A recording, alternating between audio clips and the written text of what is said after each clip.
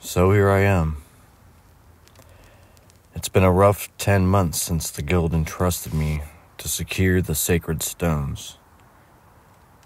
I've never faced this level of danger.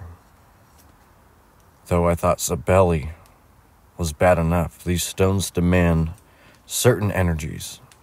When you hold them in your hand, you can feel yourself change. You have to pull deep from within to remain in control.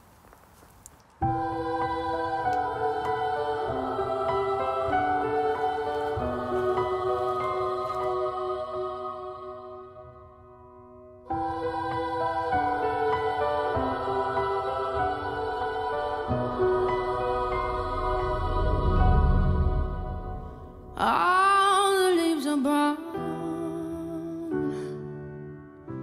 and the sky is gray.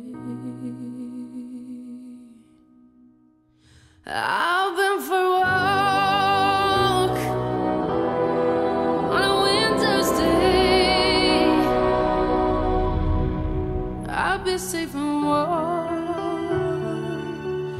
if I was in. a